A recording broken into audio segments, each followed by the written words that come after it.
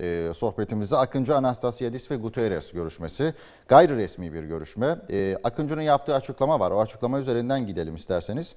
E, Kıbrıs görüşmesinin bundan sonraki süreç için olumlu bir adım olacağını söyledi. E, Akıncı, Cumhurbaşkanı Akıncı. Şimdi Akıncı'nın biz e, federasyon hayallerini biliyoruz ama tabii Kuzey Kıbrıs Türk Cumhuriyeti'nde e, bu hayaller içerisinde olan e, kişi sayısı oldukça az, yok denebilecek kadar az. Bu gayri resmi görüşmeyi nasıl değerlendirirsiniz? Kuzey Kıbrıs Türk Cumhuriyeti'nde nasıl yankı buldu? Ee, bu görüşme malum uzun zamandır beklenen bir görüşmeydi.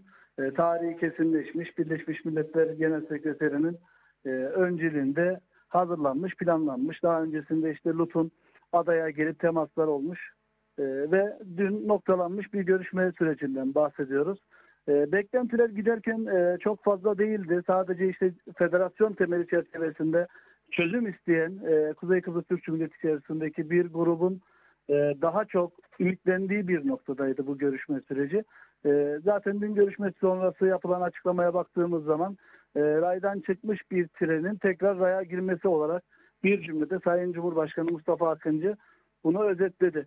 Şimdi raydan çıkmış tren dediğimiz malum e, Transmontana'da yaşanan bir süreç vardı. O dönemde işte yine Birleşmiş Milletler'in Genel Sekreteri Antonio Guterres'ti ve e, orada müzakere masası çökmüş ve ondan sonra da müzakereler kesintiye uğramıştı. E, ta ki şu yaklaşık geçtiğimiz son 3-4 ay öncesine kadar e, bu 3-4 ay öncesinin e, de başlayan sürecin dün e, Berlin'de yeni bir açılım olarak e, yansıtılmak istediğine biz şahit olduk. E, Kuzey Kıbrıs Türk Cumhuriyeti'nde e, çok fazla bu görüşmeden şu an itibariyle e, büyük beklentiler içerisinde olduğu izlenimi e, buradan paylaşamayız. Yani baktığımız zaman Sayın Akıncı'nın yapmış olduğu açıklamada öyle elle tutulur, e, gözle görülür cinsten değil. E, sadece işte e, Sayın e, BM Genel Sekreterinin müzakere içerisinde e, tekrar aktif rol alacağı yönünde bir ifade var. Ayrıca işte flash cümle olarak zaten herkesin geçtiği raydan çıkmış trenin tekrar raya oturması ifadeleri var ama e, zaten bu tren rayda değildi. Yani bugün bundan sonra önümüzdeki süreçte nasıl bir yol haritası izlenecek o da belli değil. İşte e, 2020'den bahsediliyor. Beşli bir e, gayri resmi zirve, 5 artı BM. E şimdi Türkiye Cumhuriyeti yetkililerinin bunu nasıl karşılayacağı, Yunanistan yetkililerinin nasıl karşılayacağı bunlar hep şu an bir muamma olarak ortada. E, net bir sonuç e, aldığımızı biz KKTC makamları adına ifade edemeyiz. Ama Anastasiadis'in görüşme sonrası yaptığı açıklama bize daha net ve gerçekçi bilgileri verdi. İstersen biraz da onlardan da bahsedelim. E, çünkü e, bu e, görüşmenin içeriği açısından en net bilgilerdi. Şimdi Anastasiadis ne diyor? E, biz diyor işte Lut'un çabalarını olumlu ortak açıklamada belirtilen unsurla, unsurlara ulaşılması konusunda tamamız diyor. Ama onun dışındaki bir sözleri var ki özlü müzakerelerin yeniden başlaması için referans şartlarının ötesinde yani bugün Guterres çerçevesi dediğimiz bu altı maddelik referans şartlarının dışında koyduğu bir madde var.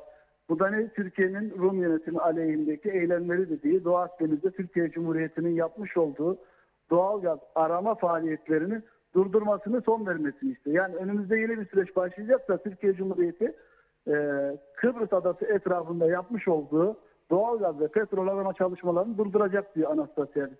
İkinci şartı neyse Anastasiadis'in e, sık sık da zaten bunu sizlerin televizyonunuzda da gündeme getiriyoruz biz.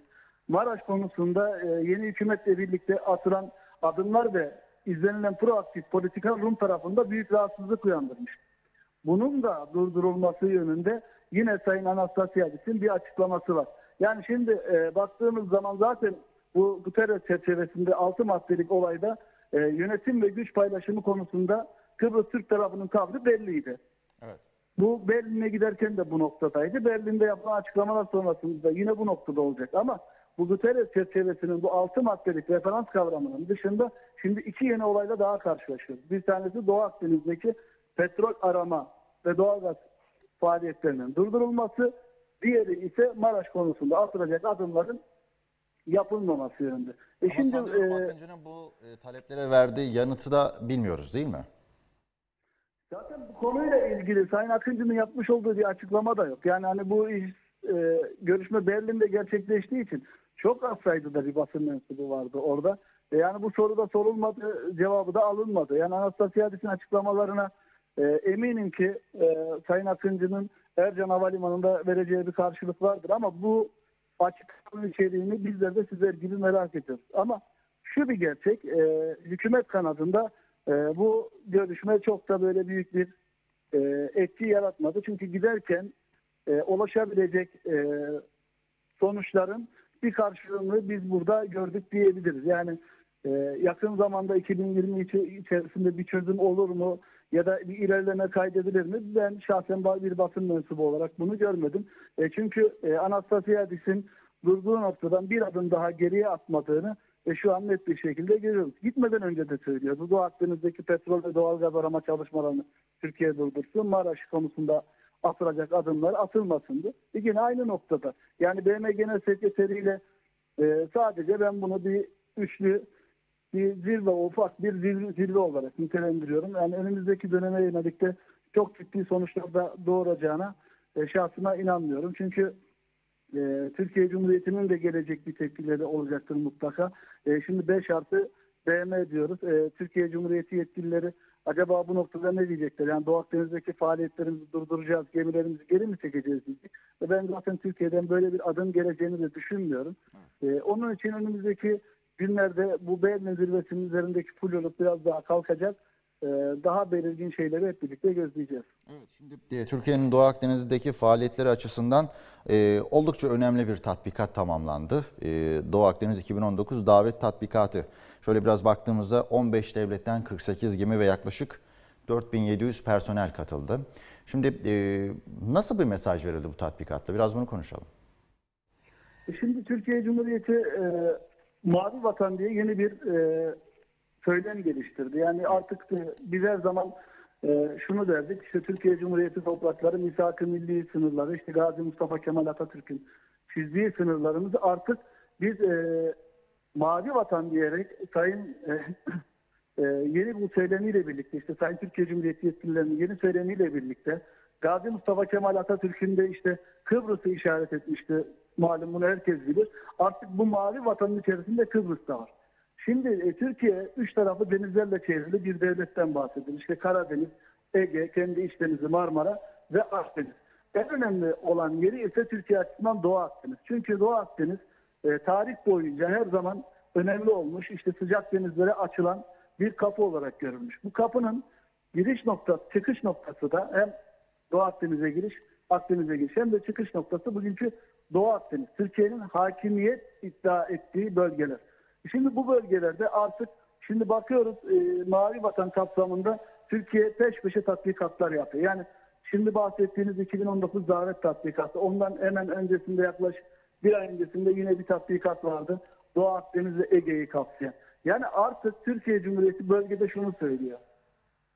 Ee, biz mavi vatan içerisinde bulunan e, kara sularımızı tamamıyla kontrol etmeye muktediriz. Zaten müzakere masasındaki rahatsızlıklardan bir tanesi de bu. Evet. Şimdi e, Güney Kıbrıs'ın işbirliği yaptığı ülkelere bakıyoruz. İsrail, Mısır, Lübnan, Yunanistan. Yani bunlar nedir? Hep işte Doğu Akdeniz çanağında e, hak iddia eden ya da Doğu Akdeniz'e sınırı olan ülkeler. E şimdi bunlara karşı Türkiye Cumhuriyeti'nin de e, kendi gücünü, kendi yeterliliğini göstermesi için tatbikatlar e, en önemli unsurlar. E şimdi e, Türkiye artık işte kendi yerli yapmış olduğu milli silahlarıyla, tedarik etmiş olduğu e, son teknoloji ürünü silahlar ile bölgedeki hakimiyetini iyiden iyiye hissettirmeye başladı. Eğer bugün Berlin'deki masada Doğu Akdeniz konuşuluyorsa, Türkiye Cumhuriyeti'nin varlığı konuşuluyorsa ve e, sadece müzakere masasına kod olarak eğer anlaşma istiyorsanız Doğu Akdeniz'deki askeri varlığınızı çekin mesajı veriliyorsa, gemilerinizi çekin mesajı veriliyorsa Türkiye'nin bu alanda yapmış olduğu adımların ve atmış olduğu e, faaliyetlerin bir göstergesi. Çünkü karşısında şu anda baktığımız zaman yani Türkiye Cumhuriyeti Devleti'nin Doğu Akdeniz'de bulunan deniz gücüyle e, mücadele edebilecek devlet sayısı bir elin parmağını geç, e, parmaklarını geçmez sayı olarak. Ve bunun için kalkıp bir Fransız donanması, bir İngiliz donanması Güney Kıbrıs için Türkiye ile bu alanda bir sıcak çatışmaya girebilir mi? Mümkün değil. Zaten e, bunu ne o ülkeler ister ne de e, Güney Kıbrıs böyle bir e, hareketin içinde bulunurlar. İşte ondan dolayı bütün bu olayların çıkış noktaları, bu müzakere masasında işte Doğu Akdeniz'in sürekli masaya getirilmesinin tek nedeni işte Doğu Akdeniz'de Türkiye Cumhuriyeti'nin bu tatbikatlarla e, ve göndermiş olduğu Fatih ve Yavuz gemilerine sağlamış olduğu o çelik zırhla Türkiye Cumhuriyeti burada varlığını çok Evet. e, aşırı derecede hissettirdi. Bu hissettirmenin sonucu da işte bugünkü sonuçları görüyoruz. Evet. Peki efendim çok teşekkür ediyorum değerlendirmeleriniz İyi için. yayınlar diliyorum. Çok sağ olun. Kanal T Haber Müdürü Mahmut Doğan'la iki önemli konuyu konuştuk. Birincisi Akıncı Anastasiadis Guterres görüşmesi. Bir gayri resmi görüşme. Ee, o görüşmenin ayrıntılarını değerlendirdik ve tamamlanan çok önemli bir tatbikat var. Doğu Akdeniz 2019 davet tatbikatı. Oldukça büyük bir tatbikat. İşte bu iki konuyu konuştuk, değerlendirdik.